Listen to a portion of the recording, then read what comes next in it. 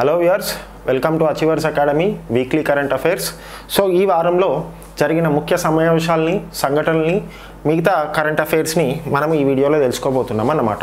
So ఇది ముఖ్యంగా August third week right so August second వీక్కి సంబంధించిన కరెంట్ అఫైర్స్ మనం ఆల్రెడీ లాస్ట్ సెషన్లో డిస్కస్ చేయడం జరిగింది. And these are the current affairs related to August third week okay so August third వీక్కి సంబంధించిన కరెంట్ అఫైర్స్ని మనం ఈ వీడియోలో తెలుసుకోబోతున్నాం. అండ్ ముఖ్యంగా ఎగ్జామ్ పాయింట్ ఆఫ్ వ్యూలో వచ్చే కరెంట్ అఫైర్స్ని ఇక్కడ మనం డిస్కస్ చేయబోతున్నాం అన్నమాట. ఓకే సో ఏ బుక్ ఇలా వార్తల్లో ఇంపార్టెంట్ కాని బుక్కులు అదేవిధంగా ఇంపార్టెన్స్ లేని పర్సనాలిటీల గురించి మనం తెలుసుకోవాల్సిన అవసరం లేదు.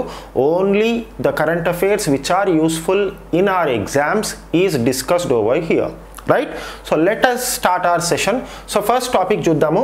ఇక్కడ ఈ దీన్నే మనం ఏమంటున్నాము అంటే ఇక్కడ మనకి కొందరు మౌంటైన్స్ ఎక్కుతున్నట్టు కనిపిస్తుంది కదా దీన్నే మనము ఆపరేషన్ ఆపరేషన్ బ్లూ ఫ్రీడమ్ అంటామన్నమాట ఏమంటున్నాము?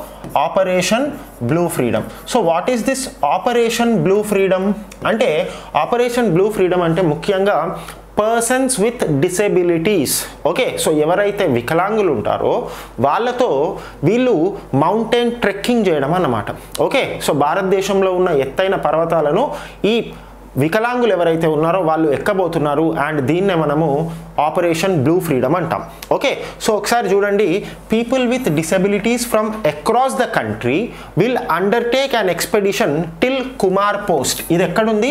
సియాచిన్ గ్లేషియర్లో ఉంది. ఓకే సో వికలాంగులు ఎవరైతే ఉన్నారో వాళ్ళు సియాచిన్ గ్లేసియర్కి ట్రావెల్ చేయబోతున్నారు అండ్ దీన్ని ముఖ్యంగా భారతదేశానికి సంబంధించిన ఆర్మీలో ఉన్న ఒక విభాగం దాన్నే మనం క్లా టీమ్ అంటామన్నమాట. ఓకే క్లా టీమ్ సో ఈ క్లా టీమ్ వికలాంగులైన కొందరు ఔత్సాహికులను ఏం చేస్తుంది? సియాచిన్ గ్లేసియర్ వద్దకు తీసుకెళ్తుంది అండ్ అక్కడ వాళ్ళకు యుద్ధం ఎలా జరుగుతుంది? ఇలాంటివి ఇక్కడ ప్రదర్శించడం జరుగుతుంది అనమాట okay so people with disabilities from across the country will undertake an expedition till Kumar post Siachen glacier to create a new world record for the largest team of people with disabilities to reach the world's highest battlefield so ఒక విధంగా వికలాంగులంతా కలిసి మనకి Siachen glacier అనేది ప్రపంచంలోనే అత్యంత ఎత్తైన యుద్ధ క్షేత్రం ఓకే? సో అత్యంత ఎద్దైన యుద్ధ క్షేత్రం highest battlefield in the world so ఈ విధంగా వికలాంగులంతా కలిసి ఆ సియాచిన్ గ్లేసియర్ని చేరుకుంటే ఇది ఒక ప్రపంచ రికార్డుగా మిగిలిపోతుంది. ఓకే? అండ్ ఈ విధంగా వికలాంగులు సియాచిన్ గ్లేసియర్ని చేరుకోవడానికి ఈ కంప్లీట్ ఆపరేషన్కి ఏమని పేరు పెట్టారంట? అంటే ఆపరేషన్ బ్లూ ఫ్రీడమ్ అని పేరు పెట్టారు. Most important. Right operation blue freedom so operation blue freedom అంటే ఏంటి? వికలాంగులు లేదా పర్సన్స్ విత్ డిసెబిలిటీస్ వీళ్ళు ఒక సియాచిన్ సియాచిన్ గ్లేసియర్ దగ్గరికి వెళ్ళబోతున్నారు అన్నమాట ఓకే? సో వీళ్ళు సియాచిన్ గ్లేసియర్ని ఎలా చేరుకుంటారు? ఇదంతా కూడా ఆపరేషన్ బ్లూ ఫ్రీడమ్లో భాగంగా చేయబోతున్నారు. రైట్ మోస్ట్ ఇంపార్టెంట్ గుర్తుపెట్టుకోండి. అండ్ ఈ టీంని ట్రైన్ చేసింది ఎవరంట? అంటే ఈ వికలాంగులను ట్రైన్ చేసింది ఎవరు? సియాచిన్ గ్లేసియర్ వరకు ట్రావెల్ అయ్యేలా? అంటే టీమ్ క్లా ఓకే సో ఇది ఇండియన్ ఆర్మీకి చెందిన ఒక సపరేట్ విభాగం. టీమ్ క్లా వీళ్ళను ట్రైన్ చేసింది. సో ఆపరేషన్ బ్లూ ఫ్రీడమ్ గుర్తుపెట్టుకోండి.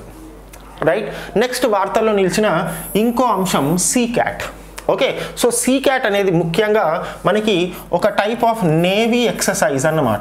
ఏం ఎక్సర్సైజ్ నేవీ ఎక్సర్సైజ్ రైట్ వీటినే మనం తెలుగులో ఏమంటాము? నావిక విన్యాసాలు అంటాం. ఏమంటాము?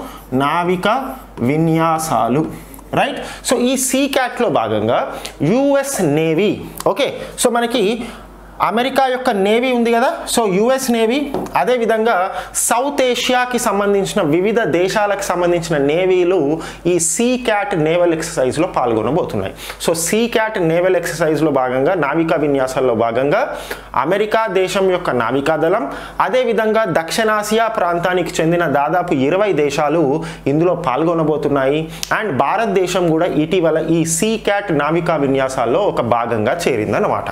Okay so the Indian navy demonstrated its maritime manoeuvres in US navy led south east Asia cooperation and training so SEACAT యొక్క అబ్రివేషన్ ఏంటి? South east Asia cooperation and training right so దీనికి నాయకత్వం ఎవరు వహిస్తారు? అంటే అమెరికా నేవీ నాయకత్వం వహిస్తుంది. And ఇది ముఖ్యంగా దక్షిణాసియా దేశాల కూటమిగా నిర్వహించే ఒక నావికా విన్యాసం అన్నమాట.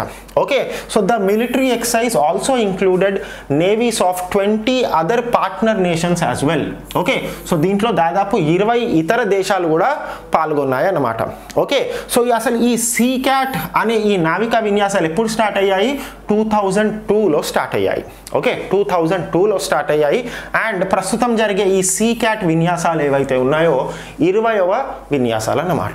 ఓకే సో మళ్ళీ ఒకసారి సీ క్యాట్ విన్యాసాలు నావికా విన్యాసాలు వీటికి నాయకత్వం వహించేది యుఎస్ నేవీ అండ్ ఇటీవల భారతదేశం కూడా ఇందులో పార్టిసిపేట్ చేయడం జరిగింది. ముఖ్యంగా ఇందులో దాదాపు ఇరవై వరకు south eastern nations okay south east asian nations ఇందులో పాల్గొంటాయి అన్నమాట రైట్ సో పాయింట్ గుర్తుపెట్టుకోండి. Now coming on to another important personality in the news so ఇక్కడ మనకు కనిపిస్తున్న వ్యక్తి పేరు బలవంత్ మొరేశ్వర్ పురందరే. బలవంత్ మొరేశ్వర్ పురందరే. సో ఎందుకు ఇతను వార్తల్లో నిలిచాడంటే ఇటీవల ఇతను తన హండ్రెడ్త్ బర్త్డేని సెలబ్రేట్ చేసుకున్నాడు.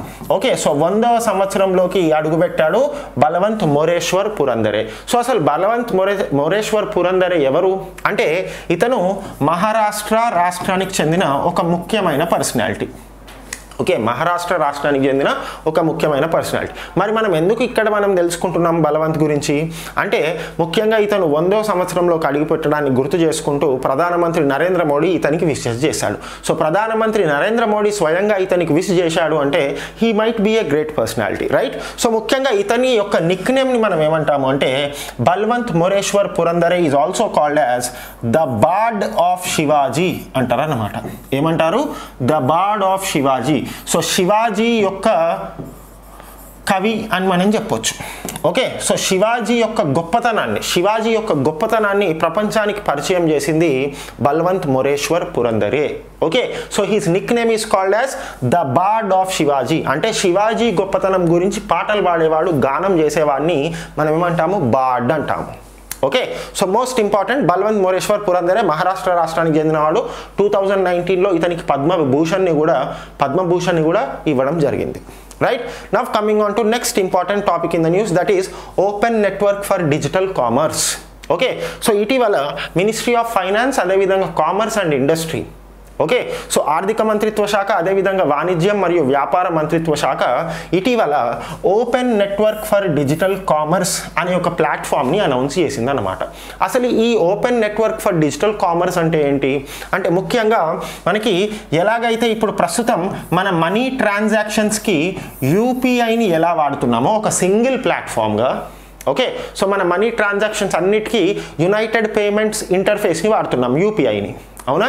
సో అదేవిధంగా ఈ కామర్స్కి సంబంధించిన వ్యవహారాల కోసం ఓకే సో మనకి షాపింగ్ చేయాలి అంటే షాపింగ్ చేయాలి అంటే there are different types of websites right so ఈ వెబ్సైట్స్ అన్నిటిని తీసుకొని వచ్చి ఒకే నెట్వర్క్గా ఏర్పాటు చేయబోతున్నారు అన్నమాట దీన్నే మనం open network for digital commerce అంటున్నాం. Open network for digital commerce. So ఎలాగైతే మన క్యాష్ ట్రాన్సాక్షన్స్ని యూపీఐ ద్వారా నిర్వహిస్తున్నామో ఇకపై ఈ కామర్స్ అంతా కూడా అంటే ఆన్లైన్ వ్యాపారం అంతా కూడా ఈ నెట్వర్క్ ద్వారా జరపబడుతుంది అన్నమాట okay open network for digital commerce. Right so ఇది అన్ని షాపింగ్ వెబ్సైట్లకు అన్ని షాపింగ్ యాప్లకు ఒక కామన్ నెట్వర్క్గా ఉంటుంది. సో మనకి మామూలుగా యూపీఐ పేమెంట్ సిస్టమ్ ఉంది. సో ఒకే ఒక payment system but there are different types of players అవునా? ఫోన్పే ఉంది గూగుల్ పే ఉంది ఆ తర్వాత మనకి ఇంకా ఎయిర్టెల్ పే ఉంది అమెజాన్ పే ఉంది. సో ఇలా చాలా ప్లాట్ఫామ్స్ ఉండొచ్చు కానీ అన్నీ ఏ నెట్వర్క్ మీద పనిచేస్తున్నాయి? యూపీఐ నెట్వర్క్ మీదనే పనిచేస్తున్నాయి. అవునా? సో అదేవిధంగా ఎన్ని షాపింగ్ వెబ్సైట్స్ అయినా ఎన్ని షాపింగ్ యాప్స్ అయినా ఉండనియండి కానీ అవన్నీ కూడా ఈ నెట్వర్క్ పైనే పనిచేస్తాయి అన్నమాట ఇకపై. ఓకే? సో దీని యొక్క అనౌన్స్మెంట్ ఇటీవల కేంద్ర ఆర్థిక మంత్రి నిర్మలా సీతారామన్ గారు ప్రకటించారు. Open network for digital commerce. Right? Now coming on to next important topic in the news. So ఇటీవల మనకి యాపిల్స్ అనేవి తరచుగా వార్తల్లో నిలుస్తున్నాయి. అండ్ మన డైలీ కరెంట్ అఫైర్స్ సెషన్లో కూడా కొన్ని బాక్స్ ఆఫ్ యాపిల్స్ని బ్రిటన్కి ఎక్స్పోర్ట్ చేశారు. అదేవిధంగా మ్యాంగోస్ని. ఓకే కొన్ని రకాల మ్యాంగోస్ని. అంటే పశ్చిమ బెంగాల్లోని Fazli variety of mangoes west బెంగాల్లోని ఫజిల్ వెరైటీ ఆఫ్ మ్యాంగోస్ని ఇటీవల బహ్రెయిన్ దేశానికి ఎక్స్పోర్ట్ చేశారు. అండ్ ఇప్పుడు కూడా యాపిల్స్ మనకి భారతదేశంలో పండిన దాదాపు పది రకాల యాపిల్స్ని ఇటీవల బహ్రెయిన్ దేశానికి ఎక్స్పోర్ట్ చేశారన్నమాట. సో ఇది అంత ఇంపార్టెంట్ అంటే యాపిల్ రకాలు ఇంపార్టెంట్ అన్నమాట.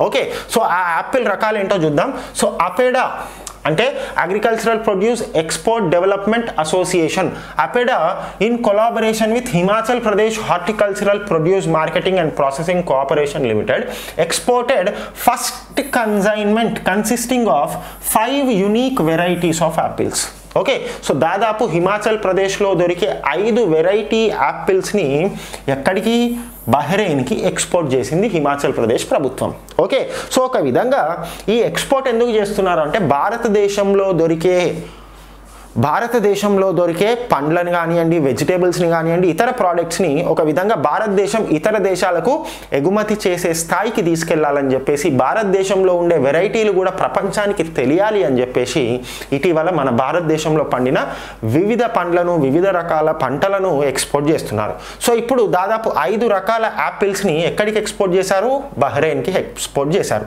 సో ఆ ఐదు రకాలు ఏంటి? అంటే Royal Delicious Dark Baron Gala Scarlet Spur Red Velox and Golden Delicious. ఎక్కడికి ఎక్స్పోర్ట్ చేశారు? బహ్రెయిన్కి ఎక్స్పోర్ట్ చేశారు.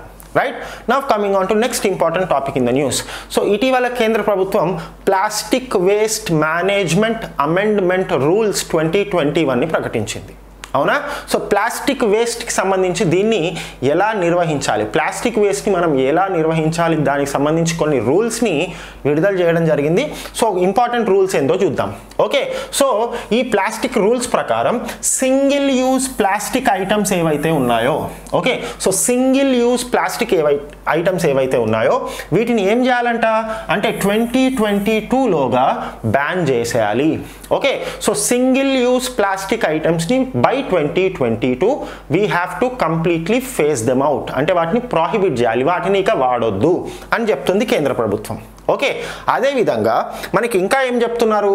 అంటే the manufacture import stocking distribution sale and use of following single use plastic including polystyrene and expanded polystyrene commodities shall be prohibited with effect from first July twenty twenty two okay. So ఈ statement ఏం చెప్తుంది అంటే twenty twenty టూలోగా అంటే ముఖ్యంగా July twenty twenty టూలోగా single use plastic items ఏవైతే ఉన్నాయో అండ్ ఎస్పెషల్గా పాలిస్టిరీన్ కన్ పాలిస్టిరీన్ ఉన్న ఓకే. సో పాలిస్టిరీన్ ఉన్న ప్లాస్టిక్ ఐటమ్స్ని ఏం చేయాలంట? జూలై ట్వంటీ ట్వంటీ టూలోగా వాటిని వాడడం నిషేధించాలి అని చెప్తుంది. క్లియర్ అదేవిధంగా ఇంకో ఇంపార్టెంట్ పాయింట్ ఏం ఏంటి అని అంటే మనకు single use multiple use plastic items అంటే ఏంటి? సో ఇప్పుడు ఇయర్ బడ్స్ ఉన్నాయి కదా. సో ఈ ఇయర్ బడ్స్ ఏవైతే ఉన్నాయో వాటిని మనం సింగిల్ యూజ్ పడేస్తాం. అవునా?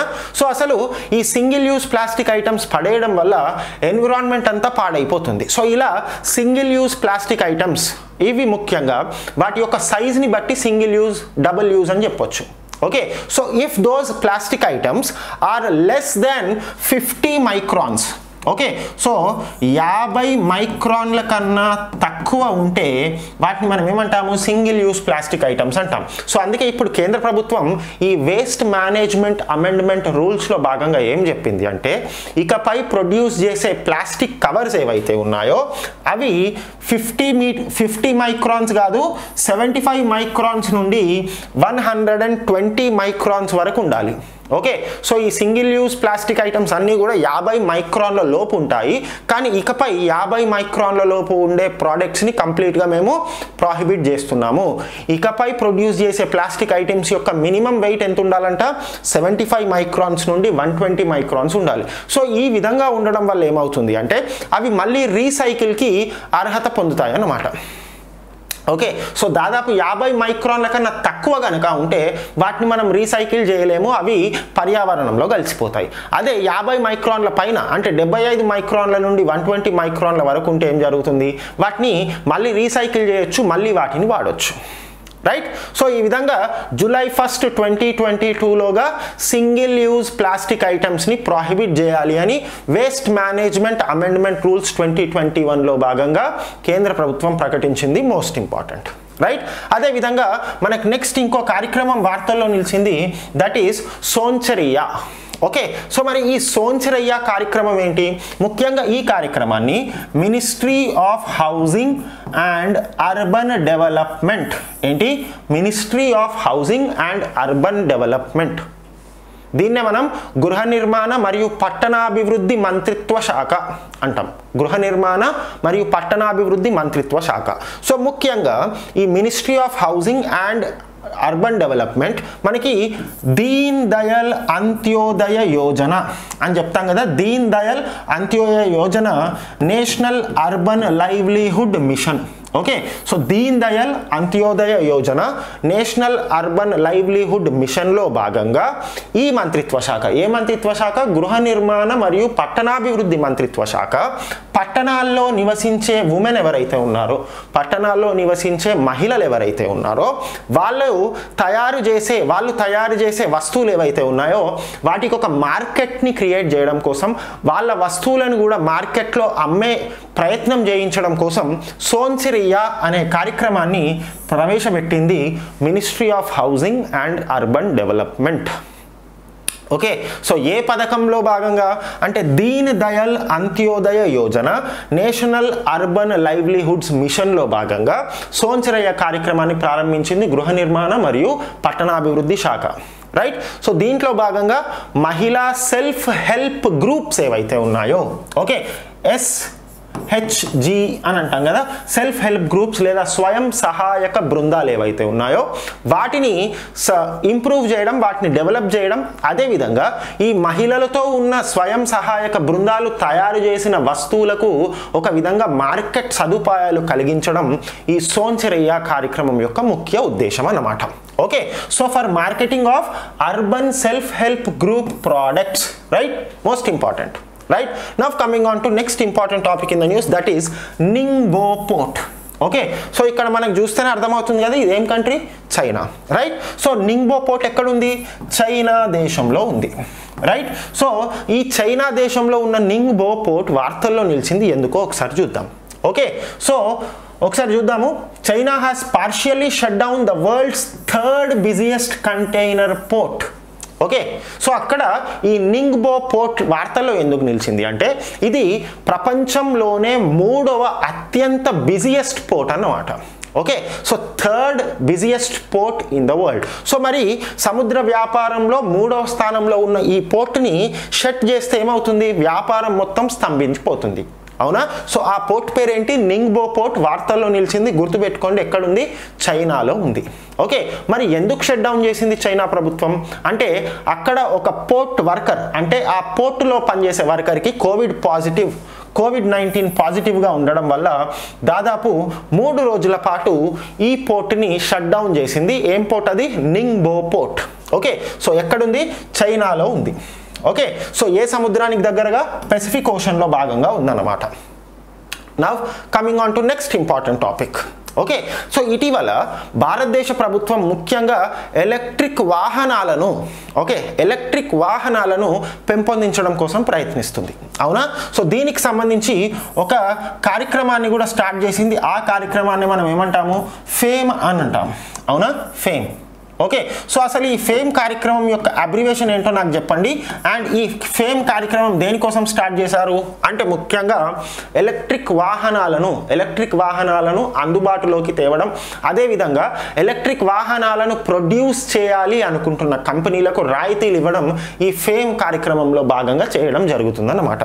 సో ఇటీవల అసలు ఈ ఫేమ్ కార్యక్రమం ఈ ఫేమ్ కార్యక్రమంలో భాగంగా ప్రొడ్యూస్ చేసే ఎలక్ట్రిక్ వెహికల్స్ ఏవైతే ఉన్నాయో వీటికి ఛార్జింగ్ ఫెసిలిటీస్ ఉండాలి. అవునా కదా? సో ప్రతి ఇరవై ఐదు కిలోమీటర్లకు ప్రతి ఇరవై ఐదు కిలోమీటర్లకు ఎలక్ట్రిక్ వెహికల్స్ యొక్క చార్ ఛార్జింగ్ స్టేషన్స్ని ఎస్టాబ్లిష్ చేయాలి అని ఇటీవల ministry of road transport and national highways ఒక hand book for electric vehicle ఛార్జింగ్ని విడుదల చేసిందన్నమాట. ఓకే సో ఎలక్ట్రిక్ వెహికల్స్కి సంబంధించిన ఛార్జింగ్ స్టేషన్స్ని ఎలా ఎస్టాబ్లిష్ చేయాలి? ఎంత దూరానికి ఒక ఛార్జింగ్ స్టేషన్ ఉండాలి? అండ్ వీటికి కావాల్సిన వీటికి కావాల్సిన రా మెటీరియల్ ఏం అవసరం ఉంటుంది? ఓకే అదేవిధంగా ఈ ఛార్జింగ్ స్టేషన్స్ని ఎస్టాబ్లిష్ చేసేలా పర్సన్స్ని ఎలా ఎంకరేజ్ చేయాలి? రాష్ట్రాలను ఎలా ఇందులో భాగస్వామ్యం చేయాలి అని చెప్పేసి ఒక హ్యాండ్ బుక్ని విడుదల చేయడం జరిగింది. Ministry of road transport right so ఇక్కడ ముఖ్యంగా చూడండి ఈ handbook for electric vehicle charging దీన్ని డెవలప్ చేసింది ఎవరంట? అంటే NITI Aayog ministry of power department of science and technology ఆ తర్వాత bureau of energy efficiency and world resources institute so ఇన్ని సంస్థలు కలిపి రూపొందించింది ఈ handbook for electric vehicle charging so ఈ హ్యాండ్ బుక్లో ఏమేమి ఉంటాయి? అంటే ముఖ్యంగా ఛార్జింగ్ స్టేషన్ల యొక్క ఇన్ఫ్రాస్ట్రక్చర్ ఓకే సో ఛార్జింగ్ స్టేషన్లు ఎక్కడ ఎస్టాబ్లిష్ చేయాలి? ఆ తర్వాత ఈ ఛార్జింగ్ స్టేషన్లు దాదాపు ఇరవై ఐదు నుండి ముప్పై కిలోమీటర్లకు ఒక ఛార్జింగ్ స్టేషన్ని ఎస్టాబ్లిష్ చేయాలి. ఓకే? అదేవిధంగా ఎలక్ట్రిక్ వెహికల్స్ని వాడడంలో ప్రజల్ని ఎలా ప్రోత్సహించాలి? రాష్ట్రాలకు ఎలాంటి రాయితీలను కలిగించాలి? ఇవన్నీ కూడా ఈ హ్యాండ్ బుక్లో ఉంటాయన్నమాట. క్లియర్? ఆ తర్వాత మనకి వార్తల్లో నిలిచిన ఇంకో ఇంపార్టెంట్ విషయం that is vehicle scrappage policy okay? So ఈ వెహికల్ స్క్రాపేజ్ పాలసీ అంటే ఏంటి? ఇటీవల ఈ పాలసీని ప్రధానమంత్రి నరేంద్ర మోడీ గారు ఆవిష్కరించారు. సో ఈ వెహికల్ స్క్రాపేజ్ పాలసీలో భాగంగా జరిగేది ఏంటి అంటే మన దగ్గర ఉన్న వాహనాలు ఏవైతే ఉన్నాయో ముఖ్యంగా మనకి ఇక్కడ కమర్షియల్ వాహనాలు ఓకే? కమర్షియల్ వెహికల్స్ ఆ తర్వాత passenger vehicles okay? Passenger vehicles. So మనకి ఇది వాహనాలు దాదాపు రెండు రకాలు ఉంటాయి కదా? సో కమర్షియల్ వాహనాలు మరియు ప్యాసింజర్ వాహనాలు. సో ఏదైనా కమర్షియల్ వాహనం ఏదైతే ఉందో పది సంవత్సరాల తర్వాత దీన్ని ఏం చేయాలంట? స్క్రాప్లోకి ఇచ్చేయాలి.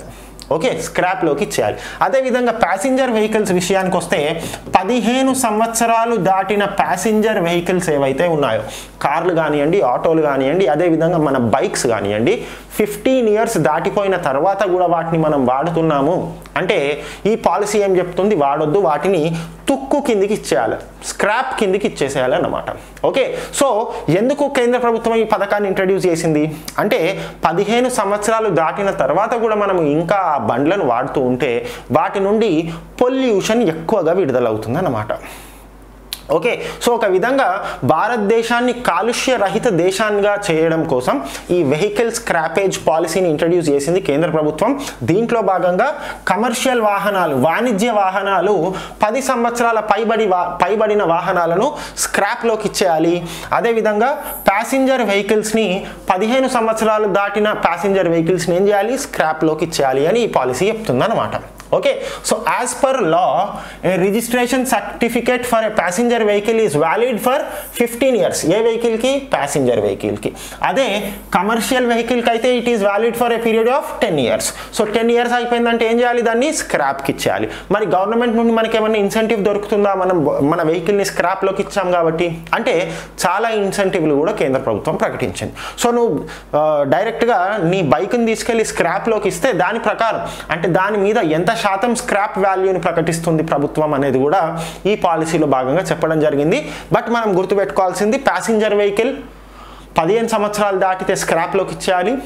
కమర్షియల్ వెహికల్ టెన్ ఇయర్స్ దాటితే రైట్ ఆ తర్వాత మనకి సుభద్ర కుమారి చౌహాన్ ఇటీవల వార్తల్లో నిలిచింది. అండ్ లాస్ట్ వీక్ కూడా మనం ఇంకో లేడీ గురించి తెలుసుకున్నాము. ఆ లేడీ పేరేంటి? సరళ తక్రాల్ గురించి తెలుసుకున్నాం. అవునా? సో సరళ తక్రాల్ ఈ వారం సుభద్ర కుమారి చౌహాన్. సో సరళ తక్రాల్ విషయానికి వస్తే she was the first woman pilot of the country right she was the first woman pilot of the country మరి ఇక్కడ సుభద్ర కుమారి చౌహాన్ విశిష్టత ఏంటి?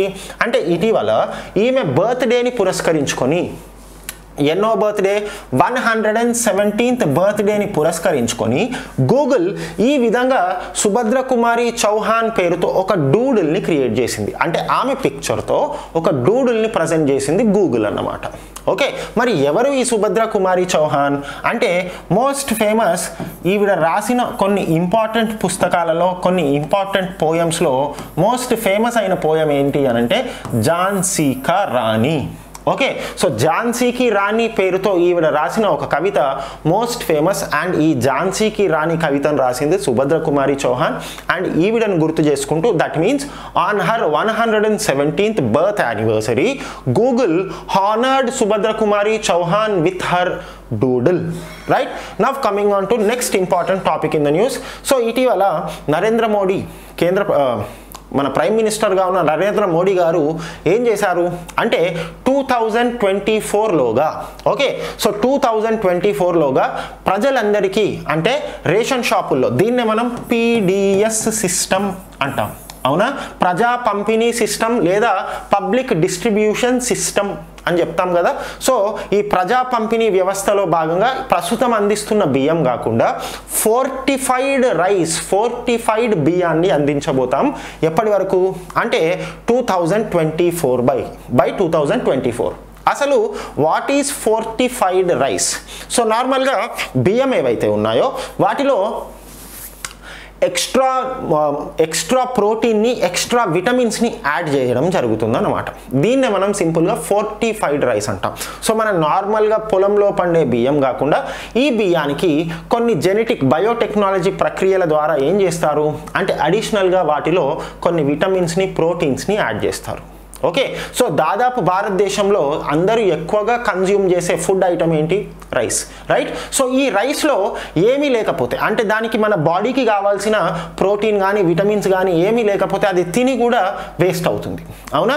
అందుకోసమే ఈ రైస్ ఎక్కువగా తింటున్నారు కాబట్టి ఈ రైస్ని మనం ఎక్కువగా పీడిఎస్ అంటే ప్రజా పంపిణీ వ్యవస్థలో భాగంగా ఎక్కువగా రైస్నే ఇస్తున్నాం కాబట్టి ఆ రైస్ని కొంచెం బలవర్ధకమైన రైస్ ఇవ్వాలి. ఓకే సో ప్రజలందరికీ ప్రజలలో పౌష్టికాహార లోపాన్ని తగ్గించాలి. అదేవిధంగా స్కూల్కి వెళ్తున్న పిల్లలు ఎవరైతే ఉన్నారో వాళ్ళకు మధ్యాహ్న భోజన పథకం మిడ్ డే మీల్ స్కీమ్లో భాగంగా వాళ్ళకు కూడా ఈ ఫోర్టిఫైడ్ రైస్ని అందించాలి అని అని ఏం చేస్తున్నారు? అని టూ థౌజండ్ ట్వంటీ ఫోర్లోగా అందించాలి అనుకుంటుంది కేంద్ర ప్రభుత్వం. ఓకే? సో మోస్ట్ ఇంపార్టెంట్ ఒకసారి చూడండి fortification is the practice of deliberately increasing the content of essential micronutrient okay?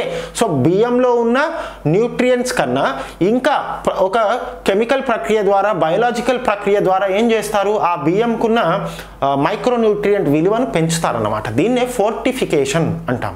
Okay? Fortification of rice right ఆ తర్వాత మనకి PM Gati Shakti master plan okay so independence day సందర్భంగా independence day సందర్భంగా ప్రధానమంత్రి నరేంద్ర మోడీ గారు ప్రధానమంత్రి గతిశక్తి మాస్టర్ ప్లాన్ని దాదాపు వంద లక్షల కోట్లతో ఓకే హండ్రెడ్ ల్యాక్ క్రోర్స్తో ఈ పథకాన్ని ప్రకటించారు.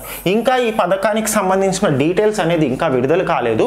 కానీ భారతదేశం యొక్క ఓవరాల్ డెవలప్మెంట్ కోసం ఓకే భారతదేశం యొక్క ఓవరాల్ డెవలప్మెంట్ కోసం ప్రధానమంత్రి నరేంద్ర మోడీ ఆగస్ట్ ఫిఫ్టీన్త్న ఒక పథకాన్ని ప్రారంభించాడు ఒక పథకాన్ని ప్రకటించాడు. దాన్నే మనం ప్రధానమంత్రి గతిశక్తి మా మాస్టర్ ప్లాన్. సో ఈ మాస్టర్ ప్లాన్ యొక్క మొత్తం కేటాయింపులు ఎంత అంటే వంద లక్షల కోట్లతో వంద లక్షల కోట్లతో ఏం చేయాలనుకుంటాను? భారతదేశంలో ఉన్న సమూలంగా మార్పు చెందాలి. సో ఈ ఈ ప్లాన్ ద్వారా యువత యూత్కి ఎంప్లాయ్మెంట్ ఆపర్చునిటీస్ని కలిగించడం అదేవిధంగా భారతదేశంలో ఇన్ఫ్రాస్ట్రక్చర్ ఫెసిలిటీస్ని పెంపొందించడం ఇవన్నీ కూడా ఈ గతిశక్తి మాస్టర్ ప్లాన్ ద్వారా రూపొందించబోతున్నారు. అదేవిధంగా ఇంకో ఇంపార్టెంట్ పాయింట్ మనం గుర్తుపెట్టుకోవాల్సింది ఏంటి అని అంటే ఇక్కడ ఇంకో అనౌన్స్మెంట్ కూడా చేశారు ప్రధానమంత్రి నరేంద్ర మోడీ గారు. That include the launch of national hydrogen mission so national hydrogen mission పేరుతో హైడ్రోజన్ వెహికల్స్ని అదేవిధంగా హైడ్రోజన్తో నడిచే వాహనాలను స్టార్ట్ చేశాడు. ఓకే హైడ్రోజన్ హైడ్రోజన్ వెహికల్స్ని ప్రోత్సహించడం కోసం నేషనల్ హైడ్రోజన్ మిషన్ని స్టార్ట్ చేశాడు. అండ్ దెన్ ఇకపై ఇకపై సైనిక్ స్కూల్స్లో ఓకే ఇకపై సైనిక్ స్కూల్స్లో ఆడవాళ్ళ ప్రవేశం అంటే గర్ల్స్ యొక్క ప్రవేశాన్ని కూడా అండ్ ఆడవాళ్ళకు ప్రత్యేకంగా సైనిక్ స్కూల్స్ని కూడా ఎస్టాబ్లిష్ చేయబోతున్నాము అని ఆగస్ట్ ఫిఫ్టీన్త్న ప్రధానమంత్రి నరేంద్ర మోడీ ప్రకటించడం జరిగింది. Gati Shakti master plan most important. Right? ఆ తర్వాత మనకి Ramsar convention. Okay Ramsar convention. దీన్నే మనం చిత్తడి నేలల కన్వెన్షన్ అని కూడా చెప్పొచ్చు రామ్సార్ కన్వెన్షన్. సో దీన్ని ముఖ్యంగా మనకి నైన్టీన్ సెవెంటీ వన్ ఫిబ్రవరి రెండున దీనిపై సంతకాలు చేశారు రామ్సార్ కన్వెన్షన్. ఓకే సో మరి ఎందుకు రామ్సార్ కన్వెన్షన్ వార్తల్లో నిలిచింది? ముఖ్యంగా ఈ రామ్సార్ కన్వెన్షన్ దేనికి సంబంధించింది? రామ్సార్ ఒప్పందం అంటాం. దేనికి సంబంధించింది? చిత్తడి నేలలకు సంబంధించింది. వెట్ ల్యాండ్స్ అంటాం. ఏమంటాము? వెట్ ల్యాండ్స్ ఓకే వెట్ ల్యాండ్స్కి సంబంధించిన ఒప్పందం అన్నమాట. సో దీని మీద ఎప్పుడు సంతకాలు చేశాయి ప్రపంచ దేశాలు? అంటే నైన్టీన్ సెవెంటీ వన్ ఫిబ్రవరి సెకండ్న సంతకం చేశాయి ప్రపంచ దేశాలు. ఓకే? సో ముఖ్యంగా ప్రపంచవ్యాప్తంగా ఉన్న చిత్తడి నేలలను పరిరక్షించడం కోసం in order to conserve the wetlands all over the world Ramsar convention was signed right so రా సో రామ్సార్ కన్వెన్షన్ గురించి మాట్లాడుతున్నాం. ఎప్పుడు సైన్ చేశారు దీని దీని మీద నైన్టీన్ సెవెంటీ వన్ ఫిబ్రవరి రెండవ తారీఖున దీని మీద సైన్ చేశారు. అండ్ రామ్సార్ అనేది ఇరాన్ దేశంలో ఉన్న ఒక నగరం. ఏ దేశంలో?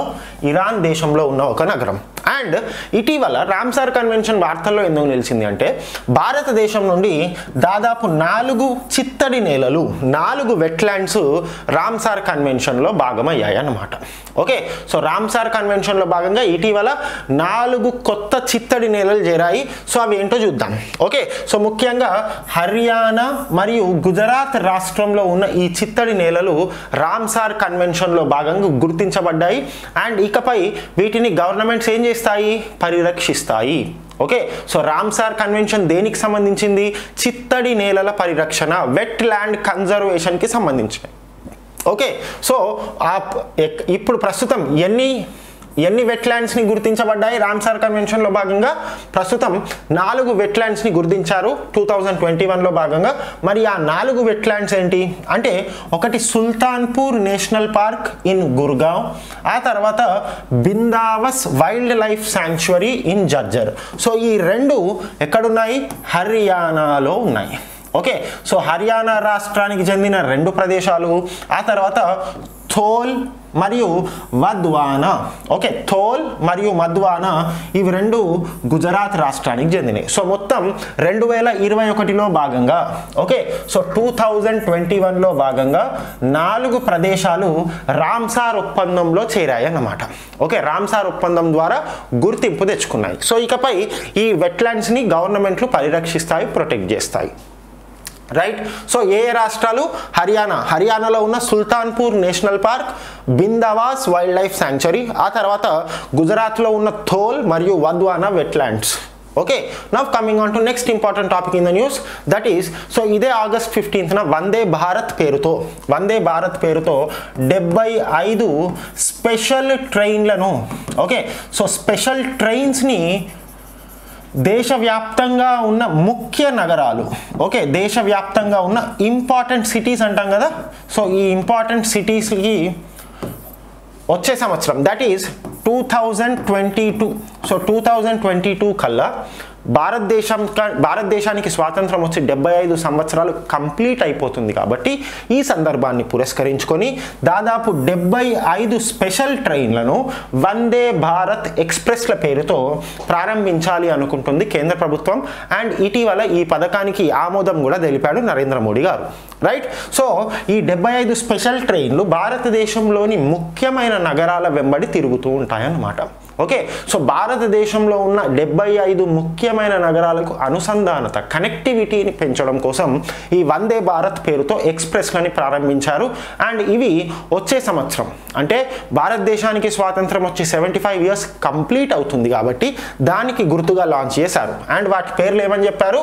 వందే భారత్ ట్రైన్స్ అని చెప్తున్నారు. Okay Vande Bharat trains. ఆ తర్వాత మనకి కాంగ్రెషనల్ గోల్డ్ మెడల్. సో అసలు ఈ కాంగ్రెషనల్ గోల్డ్ మెడల్ అంటే ఏంటి?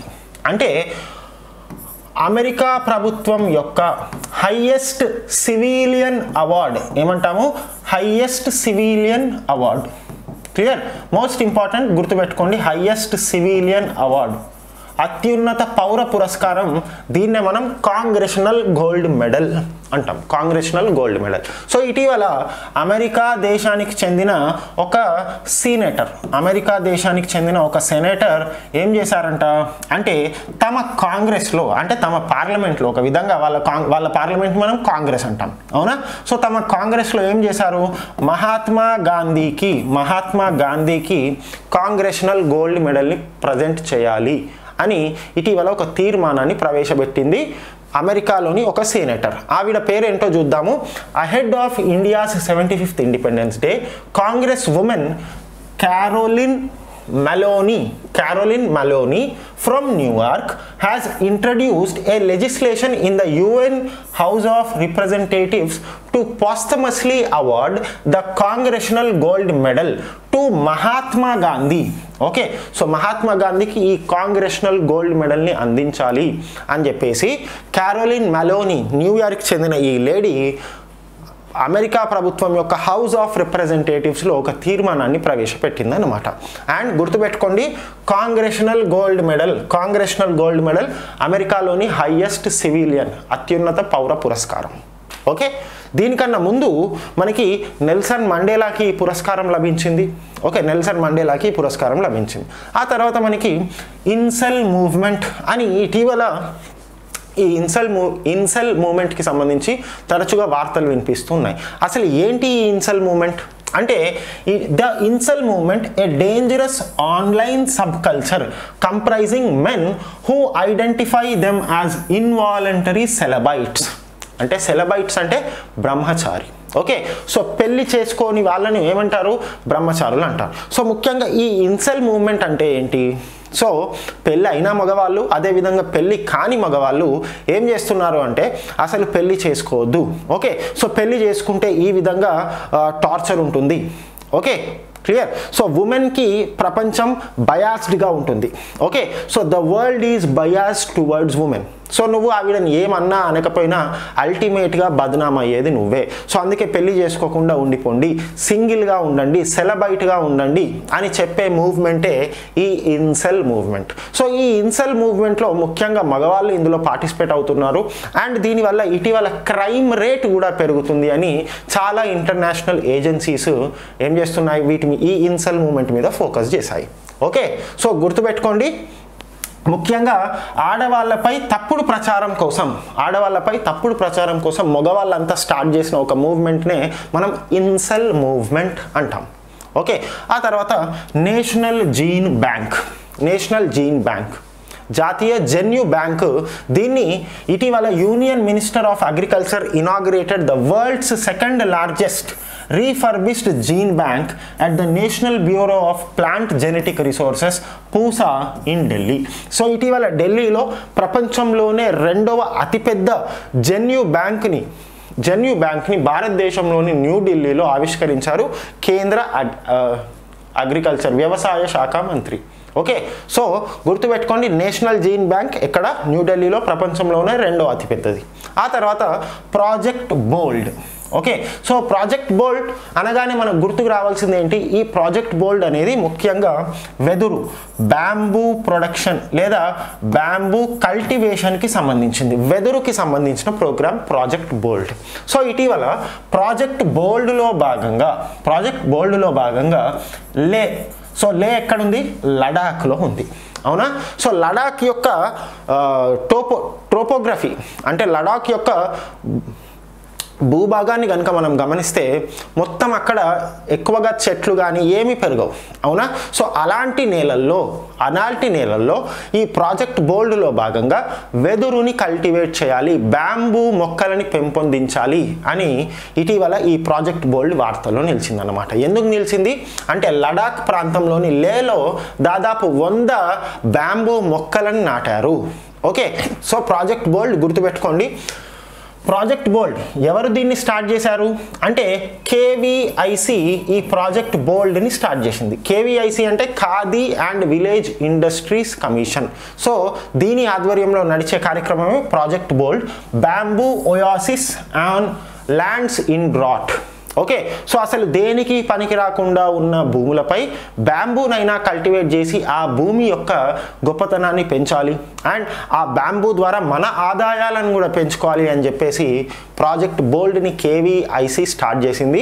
అండ్ ఇటీవల ఇండియన్ ఆర్మీ కూడా ఇండియన్ ఆర్మీ దీన్ని సపోర్ట్ చేస్తూ లడాఖ్లోని లేహ్లో వంద బ్యాంబూ మొక్కలను నాటడం జరిగింది. ఓకే సో అవన్నీ పక్కన పెడితే ప్రాజెక్ట్ బోల్డ్ గుర్తుపెట్టుకోండి బ్యాంబూకి సంబంధించిన ప్రాజెక్ట్. ఓకే ఆ తర్వాత విసరల్ లెష్మానియాసిస్ సో ఇది ఒక రకమైన వ్యాధి అన్నమాట. దీనికి సంబంధించిన కేసులు భారతదేశంలో పెరుగుతున్నాయి. Indian researchers have developed a non invasive easy to administer cost effective and patient compliant potential therapeutic strategy against visceral leishmaniasis okay? So దీనికి సంబంధించి ఒక మెడిసిన్ ఇండియన్ రీసెర్చర్స్ అసలు ఎలాంటి సైడ్ ఎఫెక్ట్స్ లేని ఒక మెడిసిన్ని ప్రయోగించారు లేదా ఒక మెడిసిన్ని తయారు చేశారు భారతదేశానికి చెందిన రీసెర్చర్స్ అన్నమాట. ఓకే? సో అసలు ఈ visceral leishmaniasis is a complex infectious disease మరి దేని ద్వారా ఇది ట్రాన్స్మిట్ అవుతుంది? అంటే it is transmitted by the bite of a female phlebotomine sand flies okay so sand flies యొక్క బైట్ ద్వారా ఈ వైసేరల్ లెష్మియాన్సిస్ ఈ వ్యాధి అనేది పాకుతుందన్నమాట. ఓకే సో దీనికి సంబంధించి ఇటీవల భారతదేశానికి చెందిన కొందరు శాస్త్రవేత్తలు ఒక తక్కువ ఖర్చులో పేషెంట్పై ఎలాంటి ప్రభావం చూపించని ఒక మందుని కనిపెట్టారు అందుకే ఇది వార్తల్లో నిలిచింది. ఓకే సో ఈ వ్యాధి గురించి కనుక మనం చూసుకుంటే it is the second most common parasitic killer after malaria okay so parasitic killer అంటే ఏంటి? సపోజ్ ఏదైనా ఒక ఇతర జీవి మనల్ని వచ్చి కుట్టి చంపేస్తే దాన్ని ఏమంటాం? పారాసైట్ అంటాం. సో ప్రపంచంలోనే మలేరియా తర్వాత మలేరియా తర్వాత అత్యధిక మంది బారిన పడుతున్న వ్యాధి ఈ విసెరల్ లెష్మయాన్సిస్ అండ్ ఎక్కువగా మనకి స్త్రీలు పురుషులు ఇద్దరికి ఈ వ్యాధి ఎఫెక్ట్ అవుతుంది అనమాట ఎక్కడ ముఖ్యంగా tropical countries. Okay? So tropic of cancer tropic of capricorn మధ్యలో ఉన్న దేశాల్లో ఈ విసరల్ లెష్మియాన్సిస్ అనే వ్యాధి ఎక్కువగా ప్రబలుతుంది అనమాట మలేరియా తర్వాత అత్యంత మందిని బలి తీసుకుంటున్న వ్యాధి. ఓకే ఆ తర్వాత మనకి ఇటీవల హైతి వార్తల్లో నిలిచింది. ఓకే సో హైతీ వార్తల్లో నిలిచింది ఎందుకు? అంటే మనం ఆల్రెడీ మన డైలీ డైలీ కరెంట్ అఫైర్స్ సెషన్లో భాగంగా కూడా తెలుసుకున్నాము. సో ఇటీవల హైతీకి సంబంధించిన ప్రెసిడెంట్ని ఓకే సో హైతీ దేశానికి సంబంధించిన ప్రెసిడెంట్ని తన ఇంట్లోకి వెళ్ళి అంటే ప్రెసిడెంట్ యొక్క ఆఫీస్లోకి వెళ్ళి కొందరు దుండగులు చంపేశారు.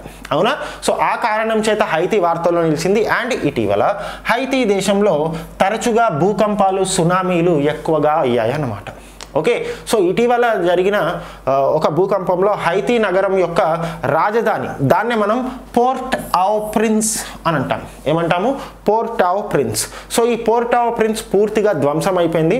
అండ్ హైతీ దేశం విషయానికి వస్తే మనకి క్యూబా దేశానికి దగ్గరగా ఈ హైతీ దేశం ఉంటుంది. దీని యొక్క రాజధాని పోర్ట్ ఆవ్ ప్రిన్స్. అండ్ ఇటీవల భూకంపాల వల్ల హైతీ దేశం కంప్లీట్గా డిస్ట్రాయ్ అయిపోయింది అనమాట ఓకే కంప్లీట్గా డిస్ట్రాయ్ అయిపోయింది. దాదాపు వంద మంది అదేవిధంగా వేల మంది చనిపోయారన్నమాట. ఓకే సో హైతి దేశం గుర్తుపెట్టుకోండి. ఆ తర్వాత వృక్షారోపణ్ అభియాన్. వృక్షారోపణ అభియాన్. సో అసలు ఈ ముఖ్యంగా వృక్షారోపణ అభియాన్ అంటే ఏంటి? మనకి coal India limited. Okay so భారతదేశంలోని అన్ని బొగ్గు సంస్థలకు సంబంధించిన top agency coal India limited. So ఈ కోల్ ఇండియా లిమిటెడ్ ముఖ్యంగా బొగ్గుని మైన్ చేసే పరిసర ప్రాంతాలు ఏవైతే ఉన్నాయో అక్కడ పచ్చదనాన్ని పెంపొందించడం కోసం వృక్షారోపణ్ అభియాన్ ట్వంటీ ట్వంటీ వన్ని స్టార్ట్ చేశాయి. Okay so go greening drive to cover two thousand three hundred and eighty five acres hectares of area under bio reclamation or plantation. Okay so coal India coal India సంస్థ కింద పనిచేస్తున్న agencies ఏవైతే ఉన్నాయో okay so అవన్నీ కూడా ఏం చేయాలనుకున్నాయంట? అంటే దాదాపు రెండు వేల మూడు వందల ఎనభై ఐదు హెక్టార్ల నేలలో వాటికి సంబంధించిన నేలలలో చెట్లను పెంచాలి అని నిశ్చయించుకున్నాయి. దీన్నే మనం వృక్షారోపణ్ అభియాన్ అంటాం. ఆ తర్వాత మనకి ఇటీవల startup women entrepreneur awards twenty twenty twenty twenty one present చేయడం జరిగింది. Okay startup women entrepreneur awards twenty twenty twenty twenty one right so ఈ అవార్డ్స్ని ముఖ్యంగా ministry of electronics and IT అదేవిధంగా నాస్కామ్ ఈ రెండు సంస్థలు కలిసి భారతదేశ ప్రభుత్వానికి చెందిన ministry of electronics and IT and NASSCOM NASSCOM అంటే national software services company national software services company. So ఈ రెండు సంస్థలు కలిపి మహిళలను మహిళలను స్టార్టప్స్ని అంటే అంకుర సంస్థలు ఎస్టాబ్లిష్ చేసే మహిళలను ఎంకరేజ్ చేయడం కోసం ఈ startup women entrepreneur awards twenty twenty twenty twenty వన్ని ప్రకటించడం జరిగింది. అండ్ దీంట్లో భాగంగా పదకొండు మందిని ఎంపిక చేశారు. అండ్ ఇందులో గెలిచిన ప్రతి ఒక్కరికి దాదాపు ఐదు లక్షల రివార్డుని ఇవ్వడం జరిగింది అనమాట startup women entrepreneur for awards right ఆ తర్వాత స్త్రీ శక్తి ఛాలెంజ్ ఓకే స్త్రీ శక్తి ఛాలెంజ్ పేరుతో స్త్రీ శక్తి ఛాలెంజ్ పేరుతో ఉమెన్ సేఫ్టీ మరియు ఎంపవర్మెంట్ మహిళల యొక్క భద్రత మరియు సాధికారతకు సంబంధించి డెబ్బై ఐదు సంవత్సరాలను పురస్కరించుకొని భారతదేశానికి సంబంధించి స్వాతంత్రం డెబ్బై ఐదు సంవత్సరాలను పురస్కరించుకొని స్త్రీ శక్తి ఛాలెంజ్ని ప్రారంభించారన్నమాట. ఓకే సో ముఖ్యంగా ఈ స్త్రీ శక్తి ఛాలెంజ్ని ప్రారంభించింది ఎవరు? అంటే ministry of electronics and information technology and united nations women. Okay so ముఖ్యంగా ఈ స్త్రీ శక్తి ఛాలెంజ్ని ప్రారంభించిన రెండు సంస్థలు ఏవి ఒకటి ministry of electronics and information technology ఆ తర్వాత ఐక్యరాజ్య సమితి మహిళా విభాగం. ఈ స్త్రీ శక్తి ఇన్నోవేషన్ ఛాలెంజ్ని ప్రారంభించారనమాట సో దీంట్లో భాగంగా ఏం చేయబోతున్నారు? అంటే మహిళా భద్రత మరియు సాధికారతకు సంబంధించి మహిళా స- భద్రత మరియు సాధికారతకు సంబంధించిన ఏవైనా టెక్నాలజీని డెవలప్ చేసిన మహిళలను దీంట్లో భాగంగా ఎంకరేజ్ చేస్తారన్నమాట. ఓకే? సో టెక్నాలజీ అంటే యాప్స్ కానివ్వండి సాఫ్ట్వేర్స్ కానివ్వండి సో ఎవరైతే మహిళలు మహిళల యొక్క భద్రత మరియు సాధికారతకు సంబంధించి ఏవైనా అప్లికేషన్స్ లేదా ఆ సాఫ్ట్వేర్స్ని తయారు చేస్తే వాళ్ళను ఎంకరేజ్ చేస్తారు ఈ స్త్రీ శక్తి ఛాలెంజ్లో భాగంగా. ఓకే? సో ఈ కార్యక్రమాన్ని ప్రారంభించింది ఎవరు? Ministry of electronics and information technology ఆ తర్వాత యునైటెడ్ నేషన్స్ మహిళా విభాగం. ఓకే ఆ తర్వాత united nations world geospatial information congress so ఈ యునైటెడ్ నేషన్స్ ఐక్యరాజ్య సమితికి సంబంధించిన ఒక ముఖ్యమైన విభాగం దీన్నే మనం జియోస్పేషియల్ ఇన్ఫర్మేషన్ కాంగ్రెస్ అంటాం. ఓకే సో ముఖ్యంగా భారతదేశం లేదా ప్రపంచ దేశాలు ఏ విధంగా జాగ్రఫీకి సంబంధించిన అంశాలు ఏ ఏ దేశాల మధ్యలో ఎలాంటి వివాదాలు ఉన్నాయి వీటిని పరిరక్షించడం కోసం united nations world geospatial information కాంగ్రెస్ని ఈ సంవత్సరం భారతదేశం వచ్చే సంవత్సరం భారతదేశం నిర్వహించబోతుంది ఎప్పుడు? అక్టోబర్ ట్వంటీ ట్వంటీ టూలో. Okay so the second united nations world geospatial information congress దీన్నే మనం UN WGIC united nations world geospatial information congress so దీనికి సంబంధించిన సమావేశాన్ని భారతదేశంలో అక్టోబర్ ట్వంటీ ట్వంటీ టూలో నిర్వహించబోతున్నారన్నమాట. ఓకే? ఆ తర్వాత student entrepreneurship program. Okay? Student entrepreneurship program. So ఈ స్టూడెంట్ ఆంటర్ప్రినర్షిప్ ప్రోగ్రాంలో భాగంగా మనకి అటల్ ఇన్నోవేషన్ మిషన్ ఉంది కదా? ఓకే సో పిల్లల్లో అంటే చదువుకుంటున్న విద్యార్థుల్లో సృజనాత్మకతని పెంపొందించడం కోసం తీసుకొని వచ్చిన మిషన్ ఏంటది? Atal innovation mission. Right so ఈ అటల్ ఇన్నోవేషన్ మిషన్ ఆ తర్వాత నీతి ఆయోగ్. నీతి ఆయోగ్ మరియు ఈ రెండు సంస్థలు కలిసి la foundation Dassault systems so యూరోప్కి చెందిన ఈ సంస్థ. ముఖ్యంగా ఈ మూడు సంస్థలు కలిసి ఏం చేశాయి? Student entrepreneurship program three point ఓని స్టార్ట్ చేశాయి అన్నమాట. సో దీంట్లో భాగంగా ప్రతి విద్య ప్రతి స్కూల్ నుండి ఆరుగురు విద్యార్థులు ఒక టీచర్ సెలెక్ట్ అవ్వబడతారు. అండ్ వాళ్ళకి సంబంధించిన వాళ్ళు ఏవైతే తయారు చేసిన సాఫ్ట్వేర్లు కానివ్వండి వాళ్ళు తయారు చేసిన ప్రోటోటైప్స్ కానివ్వండి.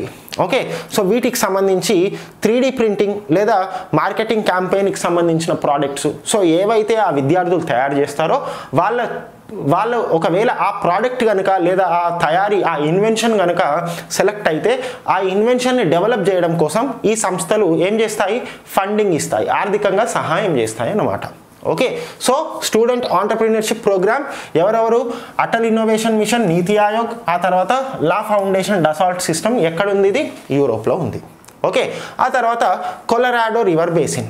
Okay so ఇటీవల ఈ కొలరాడో రివర్ ముఖ్యంగా అమెరికాలోని కొన్ని రాష్ట్రాలకు తాగునీరు సాగునీరు అందించే ఈ కొలరాడో రివర్ ఇటీవల అక్కడ డ్రాట్ కండిషన్స్ అంటే కరువు పరిస్థితులు ఏర్పడ్డాయి. సో ఒక విధంగా కొలరాడో రివర్లో వాటర్ తగ్గడం జరిగిందన్నమాట. So Colorado river most important గుర్తుపెట్టుకోండి ఎక్కడ యూఎస్ఏలో ఉంది.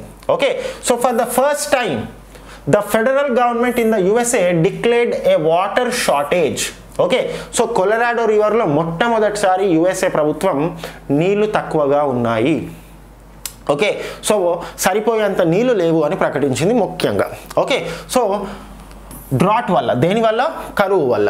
ఓకే సో దీంతో మనకి అక్టోబర్ ట్వంటీ ట్వంటీ వన్ కల్లా యుఎస్ఏలోని సౌత్ వెస్టర్న్ స్టేట్స్ ఏవైతే ఉన్నాయో ఓకే సో ఇది యుఎస్ఏ అనుకుంటే సౌత్ వెస్టర్న్ స్టేట్స్ ఈ భాగం ఏదైతే ఉందో ఇక్కడ నీటి లభ్యత తక్కువైపోతుందన్నమాట.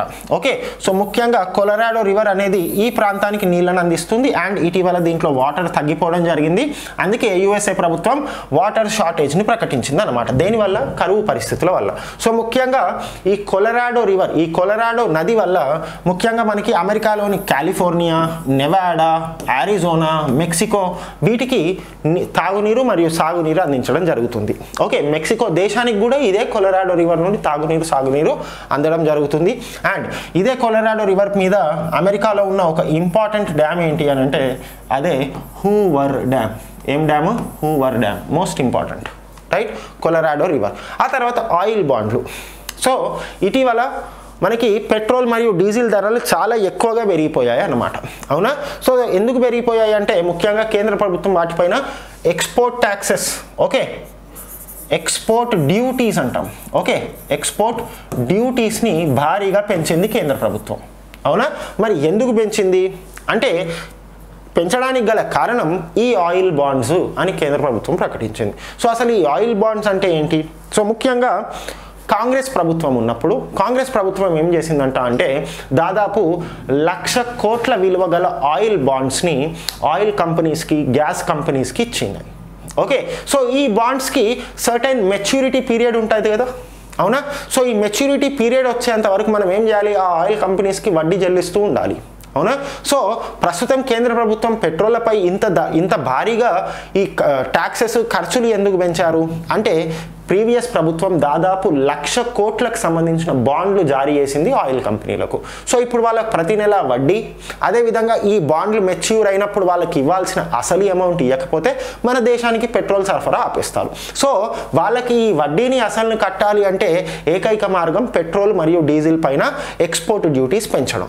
అందుకే అని చెప్పి కేంద్ర ప్రభుత్వం ఇటీవల ప్రకటించింది అనమాట ఓకే సో ఒకసారి చూడండి. Previous UPA government to subsidize fuel prices ఏం చేసిందంట?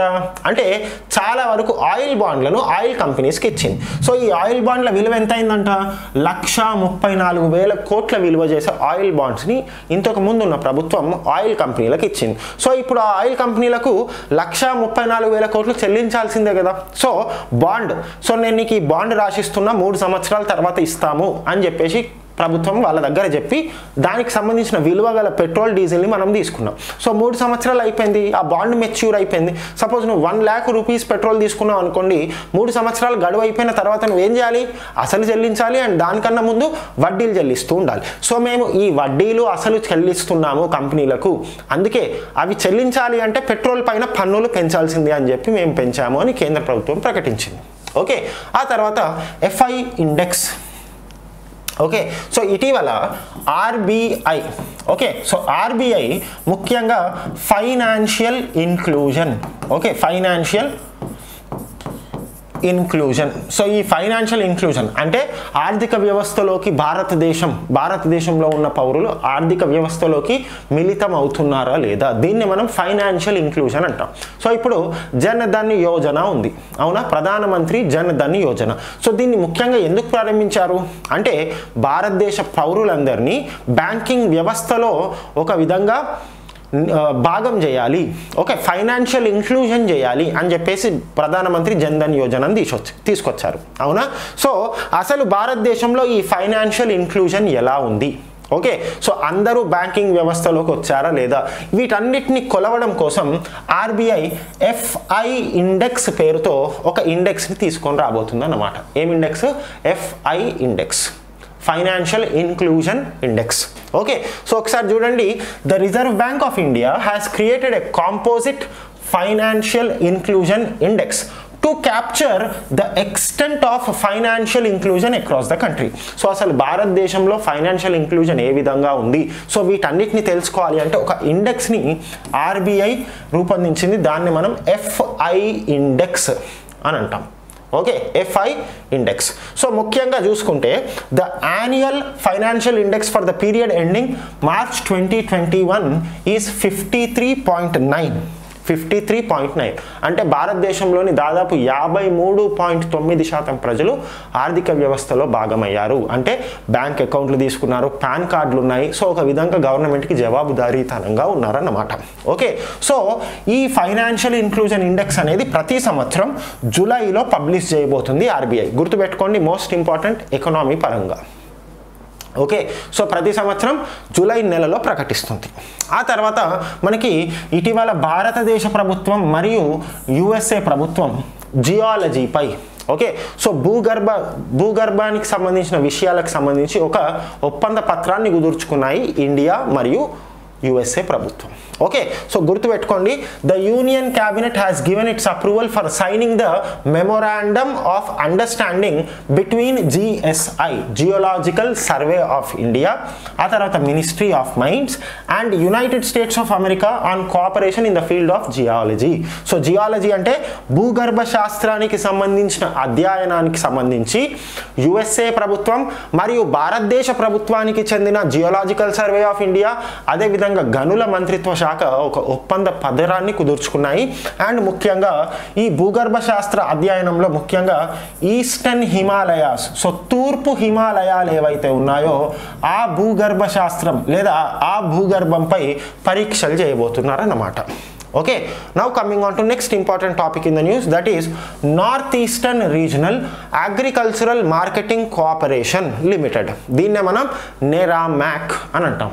ఓకే సో ముఖ్యంగా ఈశాన్య రాష్ట్రాలు ఏవైతే ఉన్నాయో అక్కడ ప్రజలు పండించే పంటలకు మార్కెట్ ఫెసిలిటీస్ కల్పించడం కోసం ఏర్పాటు చేసిన ఒక అసోసియేషన్నే మనము నేరామ్యాక్ అని అంటాం. North eastern regional agricultural marketing cooperation limited so ఇటీవల the cabinet committee on economic affairs has approved a revival package of seventy seven point four five crore so ఈ నెరామ్యాక్ ఏదైతే ఉందో దీని యొక్క కార్యక్రమాలు ఎక్కువగా లేవు దీన్ని పట్టించుకోవట్లేదు అన్నమాట ఓకే? సో దానివల్ల ఈశాన్య రాష్ట్రాల్లో వ్యవసాయం మార్కెటింగ్ సౌకర్ సౌకర్యాలు పెద్దగా డెవలప్ కాలేదు.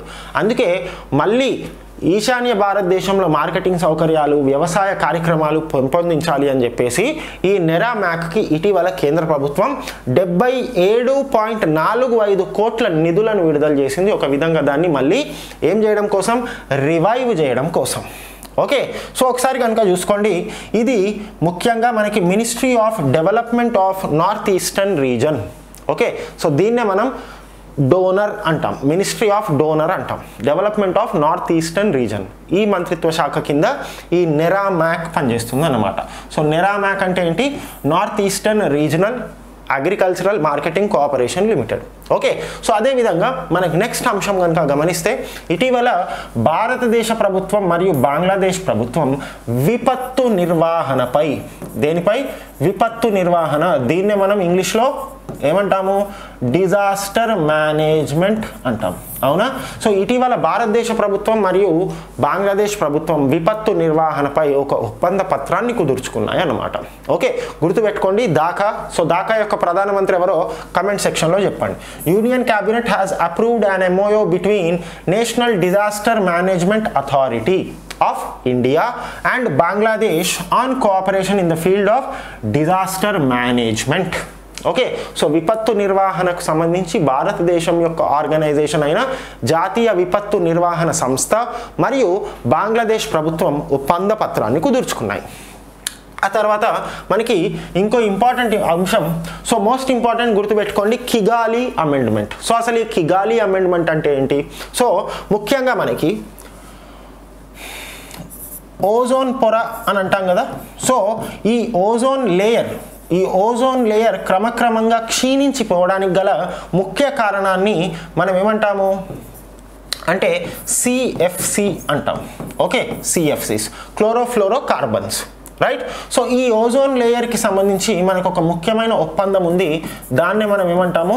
మాంట్రియల్ ఒప్పందం అంటాం. ఏమంటాం? Montreal protocol so Montreal protocol is related to ozone layer so ozone పొర క్షీణించిపోవడానికి సంబంధించి ఈ క్షీణించడానికి గల కారణమైన క్లోరోఫ్లోరో కార్బన్స్ని తగ్గించడానికి ప్రపంచ దేశాలన్నీ కూడా మాంట్రియల్ ఒప్పందంపై సంతకం చేశాయి. సో ఈ మాంట్రియల్ ఒప్పందానికి సవరణ ఈ మాంట్రియల్ ఒప్పందానికి ఒక విధంగా అమెండ్మెంట్నే మనం కిగాలి అమెండ్మెంట్ అంటాం.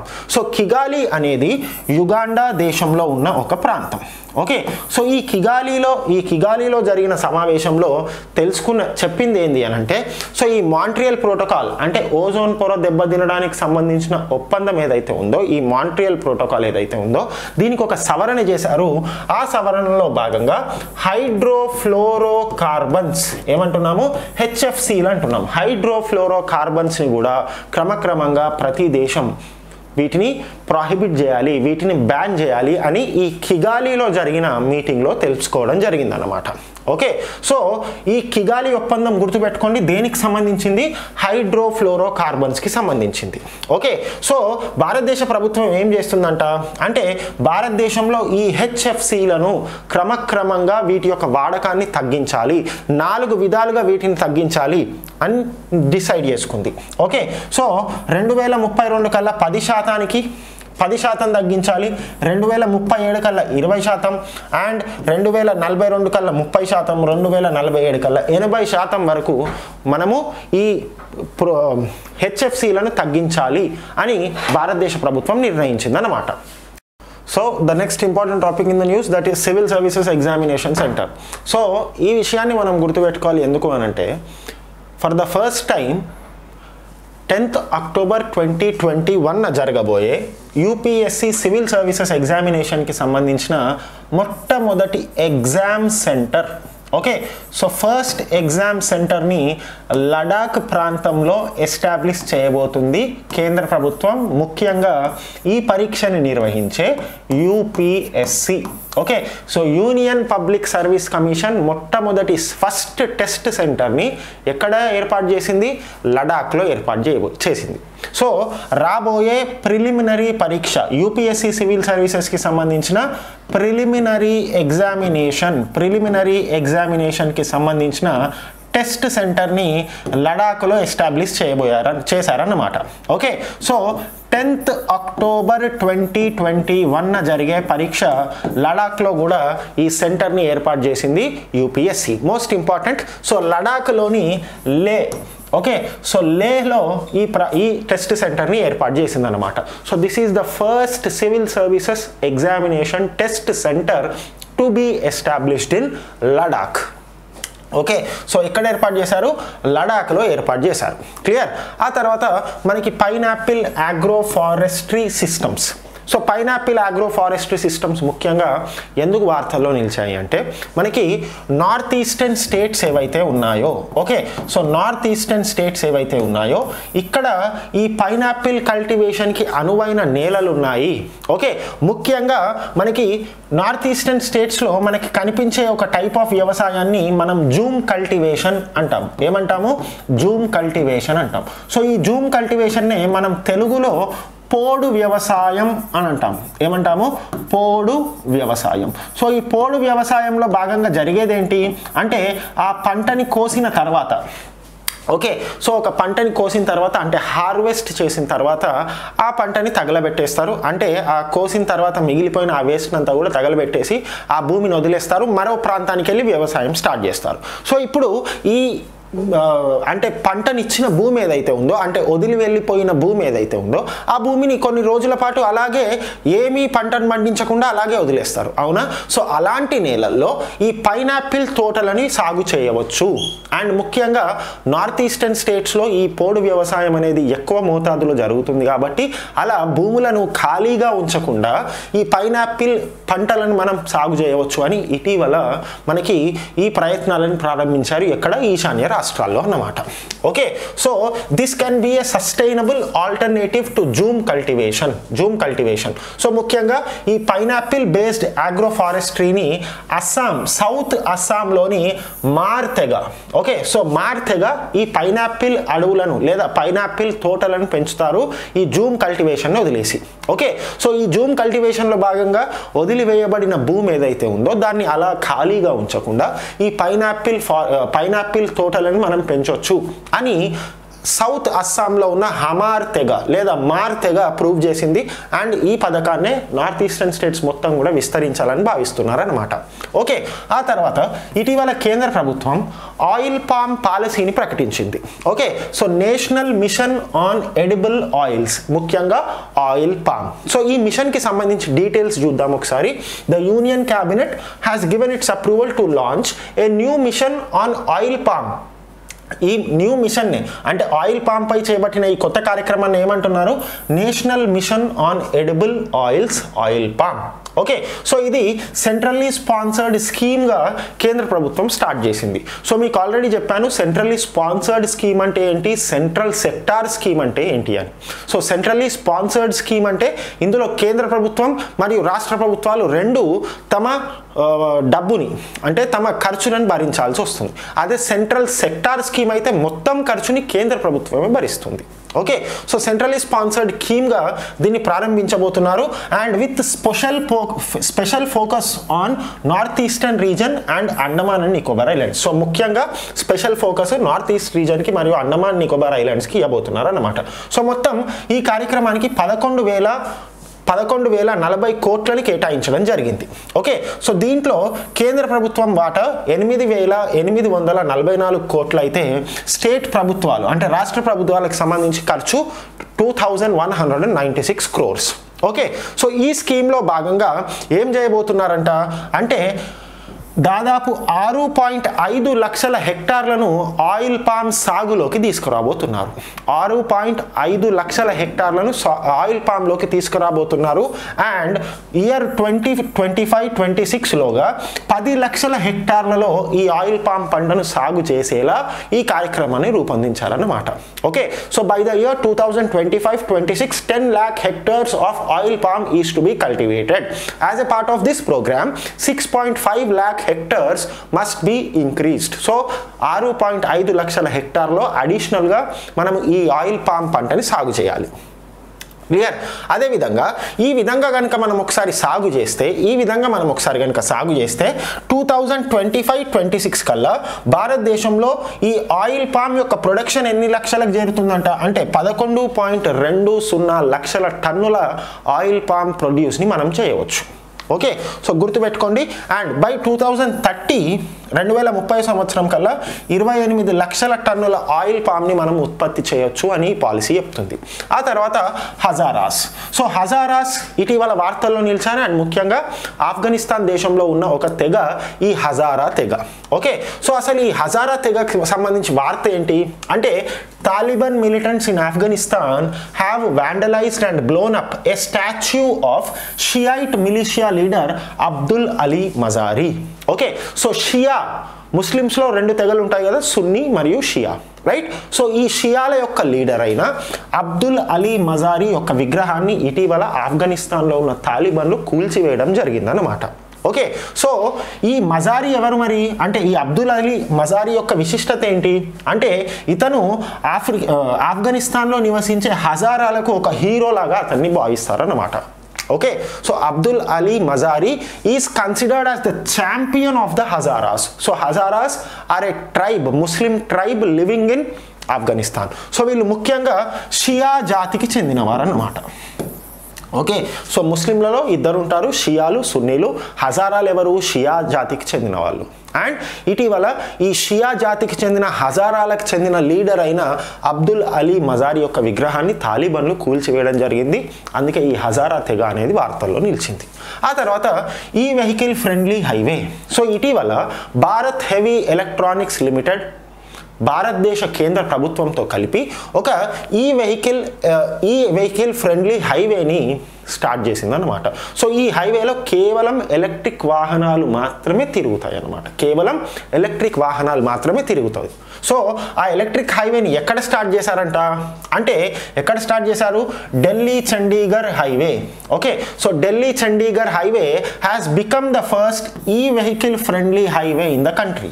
Okay so జల్ ఢిల్లీ చండీగఢ్ హైవేని భారతదేశంలోని మొట్టమొదటి ఈ వెహికల్ ఫ్రెండ్లీ హైవేగా ప్రకటించారు. ఓకే అదేవిధంగా మనకి కర్నాల్ హర్యానాలోని కర్నాల్ వద్ద ఏం చేశారు? ఒక సోలార్ ఎలక్ట్రిక్ వెహికల్ ఛార్జింగ్ స్టేషన్ని కూడా స్థాపించారు. సోలార్ ఎలక్ట్రిక్ వెహికల్ ఛార్జింగ్ స్టేషన్ని కూడా స్థాపించారు. ముఖ్యంగా ఇందులో కీలక పాత్ర పోషించింది బిహెచ్ఈఎల్ దాన్ని మనం భారత్ హెవీ ఎలక్ట్రికల్స్ లిమిటెడ్ అంటాం. ఆ తర్వాత అడ్వాన్స్డ్ చాఫ్ టెక్నాలజీ. సో ఇటీవల మన ఫైటర్ జెట్స్ ఏవైతే ఉన్నాయో అవి ప్రమాదం నుండి తమల్ని తాము కాపాడుకునేలా.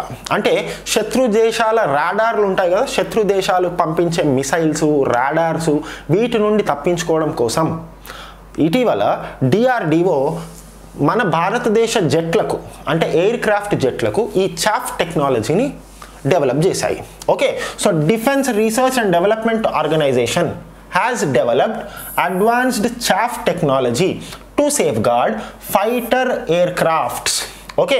So ముఖ్యంగా డిఫెన్స్ ల్యాబొరేటరీ జోధ్పూర్ దీన్ని డెవలప్ చేసింది అనమాట ఓకే. సో ఈ చాఫ్ టెక్నాలజీ అంటే ఏంటి? ఇతర దేశాల మిసైల్స్ మరియు రాడార్ల నుండి తప్పించుకునేలా ఈ చాఫ్ టెక్నాలజీ ఉపయోగపడుతుంది. వేటిలో వాడతారు? ఫైటర్ ఎయిర్ క్రాఫ్ట్స్ లేదా ఫైటర్ జెట్స్లో ఈ చాఫ్ టెక్నాలజీని వాడతారు. ఓకే. ఆ తర్వాత defence India startup challenge.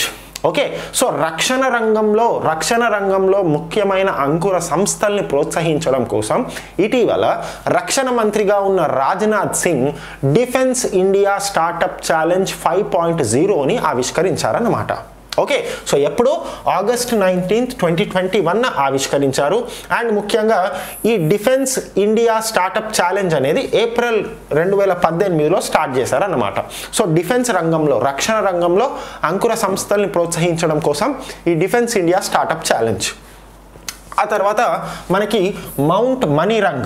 So ఈ మౌంట్ మణిరంగ్ అనేది హిమాచల్ ప్రదేశ్లో ఉన్న ఎత్తైన శిఖరాల్లో ఒకటి. మౌంట్ మణిరంగ్ అనేది హిమాచల్ ప్రదేశ్లో ఉన్న ఎత్తైన శిఖరాల్లో ఒకటి. ఎందుకు ఇది వార్తల్లో నిలిచింది? అంటే ఇక్కడ గుర్తుపెట్టుకోండి all women tri services mountaineering team.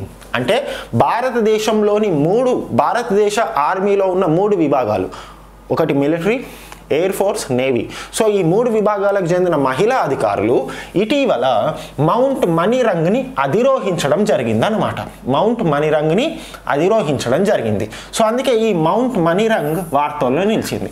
So Azadi Ka Amrit Mahotsav భారతదేశ స్వాతంత్రాన్ని డెబ్బై ఐదు సంవత్సరాలు పురస్కరించుకొని ఈ ఆజాదీకా అమృత్ మహోత్సవ్లో భాగంగా భారతదేశ త్రివిధ దళాలకు చెందిన మహిళలు ఈ హిమాచల్ ప్రదేశ్లో ఉన్న మౌంట్ మణిరంగ్ని ఇటీవల అధిరోహించారన్నమాట. ఓకే? ఆ తర్వాత మహారాజా రంజిత్ సింగ్ ఇటీవల వార్తల్లో నిలిచాడు. ఎందుకు? అంటే ఈ వీడియో కూడా మనకి సోషల్ మీడియాలో బాగా సర్క్యులేట్ అయింది. పాకిస్తాన్లోని లాహోర్లో మహారాజా రంజిత్ సింగ్ యొక్క విగ్రహాన్ని ఒక దుండగుడు ధ్వంసం చేశాడన్నమాట. సో ఇక మహారాజా రంజిత్ సింగ్ విషయానికి వస్తే ముఖ్యంగా సిక్ ప్ర సిక్ సామ్రాజ్యం లేదా సిక్ ఎంపైర్ని సిక్ సామ్రాజ్యానికి మొట్టమొదటి మహారాజు ఎవరు అంటే మహారాజా రంజిత్ సింగ్. ఓకే సో ఈ మహారాజా రంజిత్ సింగ్ సిక్ సామ్రాజ్యాన్ని ఎస్టాబ్లిష్ చేశాడు. అండ్ ప్రస్తుత కాలంలో ఈ సిక్ సామ్రాజ్యం పంజాబ్ హర్యానా ఆ తర్వాత మనకి పాకిస్తాన్లోని లాహోర్ కరాచీ ఈ ప్రాంతాల్లో ఈ సిక్ సామ్రాజ్యం ఉండిందన్నమాట ఓకే సో లాహోర్ని తన రాజధానిగా చేసుకొని మహారాజా రంజిత్ సింగ్ తన సిక్ సామ్రాజ్యాన్ని ఎస్టాబ్లిష్ చేశాడు. అండ్ ఇటీవల పాకిస్తాన్లో ఉన్న కొందరు దుండగులు మహారాజా రంజిత్ సింగ్ యొక్క విగ్రహాన్ని కూల్చడం జరిగింది ఎక్కడ? లాహోర్ కోటలో. ఓకే సో గుర్తుపెట్టుకోండి a nine foot tall bronze statue of Maharaja Ranjit Singh the founder of Sikh empire was vandalised in Lahore fort vandalise అంటే కూల్చడం జరిగిందన్నమాట. ఓకే. సో మహారాజా రంజిత్ సింగ్ విషయానికి వస్తే సెవెంటీన్ ఎయిటీ నుండి ఎయిటీన్ థర్టీ నైన్ వరకు ఇతను పాలించడం జరిగింది. అండ్ లాహోర్ని పదిహేడు వందల డెబ్బై తొమ్మిదిలో క్యాప్చర్ చేశాడనమాట ఓకే. ఎలా క్యాప్చర్ చేశాడు? అంటే లాహోర్లో ఉన్న హిందువులు ముస్లింలు మరియు సిక్కులు కలిసి రంజిత్ సింగ్ని ఆహ్వానించారు. లాహోర్ని మీరు ఆక్రమించుకోండి అని. ఓకే. సో ఆ విధంగా లాహోర్ని కూడా పరిపాలించాడు మహారాజా రంజిత్ సింగ్ సిక్ సామ్రాజ్యాన్ని స్థాపించిన వ్యక్తుల్లో ఒకడు. ఓకే సో మోస్ట్ ఇంపార్టెంట్ గుర్తుపెట్టుకోండి. ఆ తర్వాత ఇటీవల మన రాష్ట్రపతి అయిన ఎవరు? రామ్నాథ్ కోవింద్. రామ్నాథ్ కోవింద్ శంకర్ దయాల్ శర్మ. సో శంకర్ దయాల్ శర్మ భారతదేశం యొక్క previous president and he worked as the tenth president of India. Okay so భారతదేశానికి పదవ రాష్ట్రపతిగా పనిచేశాడు శంకర్ దయాల్ శర్మ. అండ్ ఇటీవల ఇతని యొక్క బర్త్ యానివర్సరీని గుర్తు చేసుకుంటూ ఎవరు? రామ్నాథ్ కోవింద్ నివాళులు అర్పించడం జరిగింది. So Shankar Dayal Sharma most important right? So he was the sorry tenth అని చెప్పాను. He was the ninth president of India serving from nineteen ninety two to nineteen ninety seven okay పంతొమ్మిది వందల తొంభై రెండు నుండి తొంభై ఏడు వరకు ప్రెసిడెంట్గా పనిచేశాడు. తొమ్మిదవ రాష్ట్రపతిగా పనిచేశాడు శంకర్ దయాల్ శర్మ. అండ్ ఇటీవల అతని యొక్క బర్త్ యానివర్సరీని పురస్కరించుకొని ప్రస్తుతం రాష్ట్రపతిగా ఉన్న రామ్నాథ్ కోవింద్ అతడికి నివాళులు అర్పించాడనమాట సో శంకర్ దయాల్ శర్మ ప్రెసిడెంట్ కన్నా ముందు he also was the president vice president so vice ప్రెసిడెంట్గా కూడా పనిచేశారు.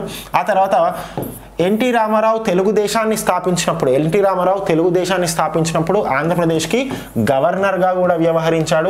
అండ్ భారతదేశానికి స్వాతంత్రం వచ్చిన కొత్తలో మధ్యప్రదేశ్ అనే రాష్ట్రం లేదు. దానికన్నా ముందున్న రాష్ట్రం ఏంటి? భోపాల్ అని రాష్ట్రం ఉండిందనమాట సో భోపాల్ రాష్ట్రానికి ముఖ్యమంత్రిగా కూడా పనిచేశారు శంకర్ దయాల్ శర్మ. సో ఇటీవల ఇతని యొక్క బర్త్ యానివర్సరీని పురస్కరించుకొని ప్రెసిడెంట్ రామ్నాథ్ కోవింద్ ఇతనికి నివాళులు అర్పించడం జరిగింది. Okay. So by this we come and end to the weekly current affairs session. I hope you like the session and please follow please like share and subscribe our channel and ప్రతి ప్రతి వారం Sunday ఈ weekly current affairs మీద క్విజ్ని కూడా నిర్వహించడం జరుగుతుంది. So ఆ క్విజ్లో కూడా మీరు పార్టిసిపేట్ అవుతారని ఆశిస్తున్నాము. Thank you